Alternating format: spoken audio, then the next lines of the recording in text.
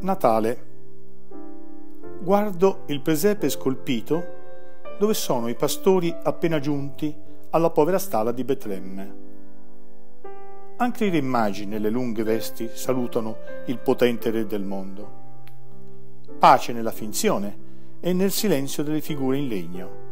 Ed ecco i vecchi del villaggio e la stalla che risplende e l'asinello di colore azzurro pace nel cuore di Cristo, in eterno, ma non v'è pace nel cuore dell'uomo.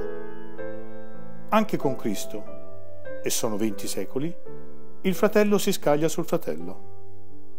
Ma c'è chi ascolta il pianto del bambino che morirà poi in croce fra due ladri?